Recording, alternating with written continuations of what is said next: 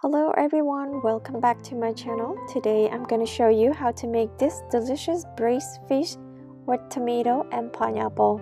And today I'm using shad. American shad are very high in omega-3 and fatty acids. The common place to catch shad here in Oregon is at Bonneville Dam. Shad spend most of their life in the Atlantic Oceans, but swim up to the freshwater river during spring or early summer, usually when the river water has warmed to 50 or 55 degree Fahrenheit. Every year, shad will swim up freshwater river to spawn. If they survive breeding, they will return back to the sea and return to the freshwater to spawn several times.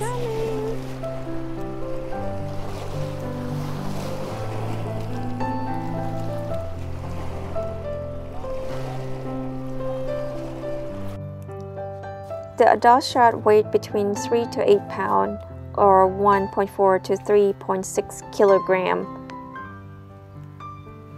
We usually clean our shad by just cutting the head and take the gut out and also separate the egg because we can cook a really nice dish with the egg. I usually wrap the fish with the plastic wrap before I freeze them so it doesn't stick together and today I'm using about four medium-sized shad. It's weigh almost 8 pound or 3.5 kilogram. To marinate the fish, I'm using 2 tablespoons of salt, 1 teaspoon of crushed black pepper, 1 tablespoon of chicken flavor mix, it's optional, also 5 cloves of chopped garlic. And we're cutting the fish about 2 inch wide. As you can hear the sound of the fish bone. This fish have a lot of bone. Um, when we chop this, um, the fish is still frozen. Now adding salt, chicken flavor mix, the black pepper and garlic. Try not to disturb the fish to maintain its shape and um, we're gonna sh just shake it like that and leave it alone. So let us marinate at least 30 minutes to an hour.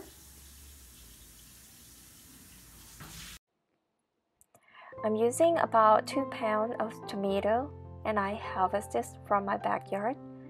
And my mom is uh, removing the tomato skins because if we use the tomato the whole thing um, the skin will float to the top and we don't want that. So we're just gonna remove it. The easy way to do it you can also soak them in hot water and you can peel the skin off really easily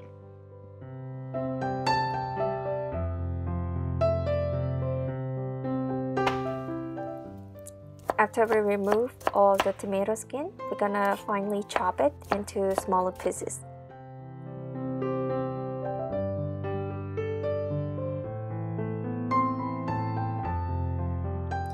I'm using 2 tablespoons of palm sugar. Also, if you don't have palm sugar, you can just use regular sugar. And also 3 tablespoons of regular white sugar, 3 tablespoons of fish sauce, and I also add 2 tablespoons of water to help diluting. In case you don't want to use white sugar, you, you have palm sugar, you can use 5 tablespoons of palm sugar or 5 tablespoons of regular white sugar. And we're gonna caramelize it until it change into dark brown After that, we adding the fish sauce. Now we can add the tomato.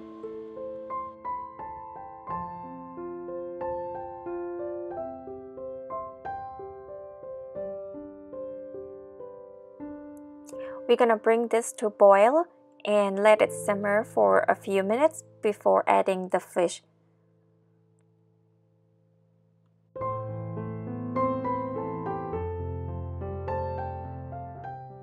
Please try not to stir it too much uh, to prevent the fish from breaking the meat. And we're gonna let it simmer for at least 5 to 10 minutes.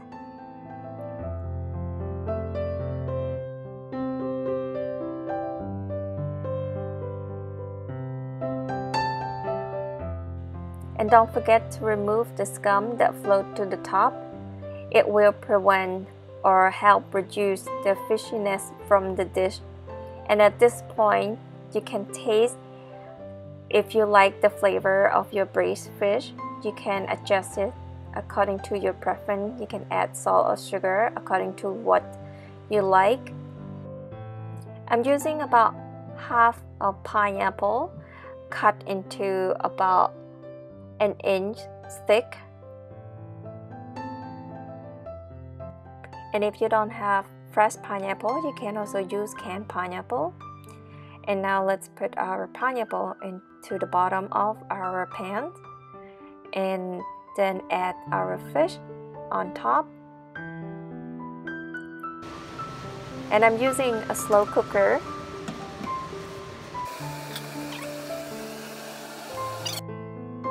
you can set it on high for 2 hours and then set it to low for another 6 to 8 hour. And the easiest way, if you cook it before you go to bed, you can just set it on low for 12 hour. So by the time you get up, you have the braised fish ready for you.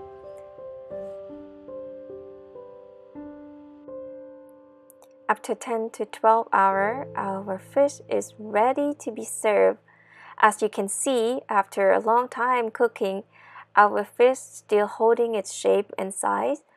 And I wish you could smell the aroma. Even though it looked like it doesn't change the shape at all, but the bone is completely cooked through and it's soft. You can also serve this with lime or young mango along with the basil. By just adding a little bit of lime juice will make the dish taste even better.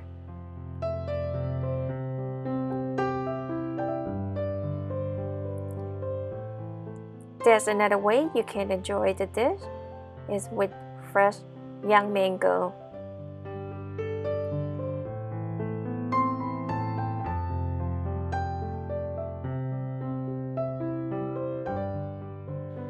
There's two ways of shredding your young mango. You can just directly chop the mango and thinly slice it or you can use the shredder. Whatever is easy for you. As you can see, the one with the shredder is fine and small and the one with the knife, regular knife, is kind of chunky. I prefer the chunky one, but it's your preference. You can choose whatever you like. And if you like it spicy, you can add some fresh chopped chili.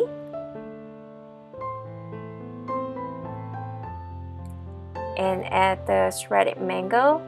As you know, the young mango is a little sour, so it's really complement the dish really well. And with the basil, it's make the dish to another level. So I hope you enjoyed this video and give it a try. It's not difficult to make and tastes really good. You can enjoy this with steamed rice or rice porridge or even bread. Thank you so much for watching. We'll see you again in the next video.